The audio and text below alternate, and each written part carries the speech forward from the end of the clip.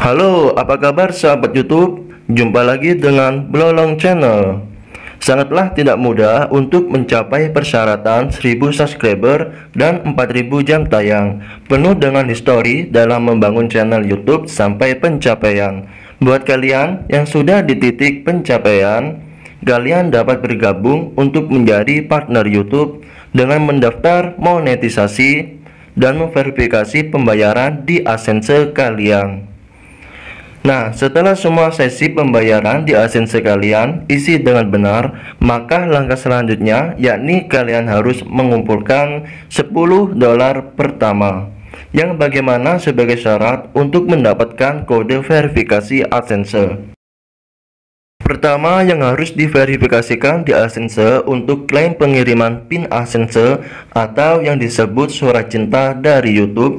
Di sini saya akan berbagi tips bagaimana kalian bisa mendapatkan 10 dolar pertama dengan cepat agar surat cinta kalian bisa segera dikirim. Dengan catatan alamat pembayaran harus sesuai dengan identitas kalian yang valid dan benar.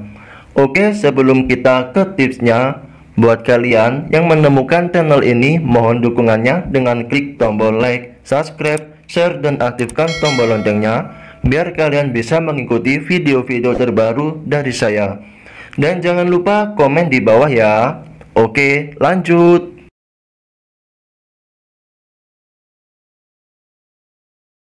Yang pertama, untuk mendapatkan dolar dengan cepat, Kalian jangan mengubah jenis iklan yang ada di tampilan AdSense kalian. Jenis-jenis tampilan iklan pada AdSense di situ ada keterangan jenis produk iklan murah dan jenis produk iklan mahal. Untuk tampilan produk iklan murah dan mahal, kalian jangan pernah memblokir kedua produk iklan mahal dan murah ini karena akan berdampak pada produk iklan yang tayang pada video kalian yang mengakibatkan iklan tidak berjalan dengan sempurna dan mengakibatkan pula pada estimasi dolar kita mengalami penurunan. Selanjutnya untuk tips yang kedua, setelah kalian upload video sebaiknya jangan dipublik dulu. Dengan begitu kalian bisa setting atau edit dari judul, deskripsi, hashtag, dan thumbnail. Namun yang paling penting, Aktifkan rating formulir iklan yang terdapat pada logo dolar di dashboard. Karena kalau tidak kalian aktifkan rating iklan ini, juga akan berpengaruh pada pendapatan iklan yang tayang. Bila kalian yang belum tahu dan ingin cari tahu cara mengaktifkan rating formulir iklan, kalian bisa cek video sebelumnya di pojok kanan atas. Setelah itu kita upload video short tanpa feed. Pada tips yang ketiga ini, selain kalian mengupload video durasi panjang, maka kalian juga bisa mengupload video durasi pendek juga. Sama halnya kita upload video short, tetapi kita letakkan pada upload video biasa dan pada judul dikaitkan dengan hashtag short maka secara otomatis akan menjadi pendapatan plus kalian dalam mengumpulkan 10 dolar pertama dengan cepat. Selanjutnya, jangan pernah mengaktifkan iklan mitrol atau menyeting iklan tambahan pada video durasi panjang kalian karena juga akan membawa dampak error pada iklan yang tayang. Penyesuaian produk iklan pada video durasi panjang kalian dengan kelayakan iklan tampil pada umumnya, yakni jenis iklan produk umum dan juga iklan Google Ads.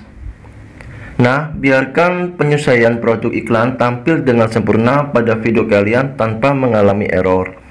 Jadi, yang pasti produk kalian yang tampil atau yang diklik penonton muncul berkali-kali dengan penyesuaian secara otomatis. Maka dengan begitu pendapatan per klik iklan kalian akan bertambah dengan cepat untuk mencapai 10 dolar pertama. Oke, seperti itulah sobat YouTube, cara alami mendapatkan 10 dolar setelah monetisasi dan dengan segera atau secepatnya setelah 10 dolar terkumpul, kita akan mendapatkan surat cinta atau PIN dari YouTube. Terima kasih buat sobat yang setia di videonya sampai akhir. Untuk itu jangan lupa tekan tombol like, subscribe, dan tombol loncengnya agar teman-teman mendapatkan notifikasi terbaru dari channel ini. Sekian itu saja dari Blolong, sampai ketemu di waktu berikutnya, sampai jumpa. Murder on call with the fight now 20 years and it seemed like a lifetime I've been hanging every day from a lifeline Why these fuckers